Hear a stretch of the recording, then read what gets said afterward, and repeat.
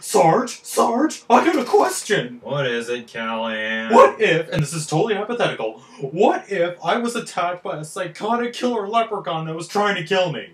I don't know. Throw your stick at it. Throw my stick at it. Right.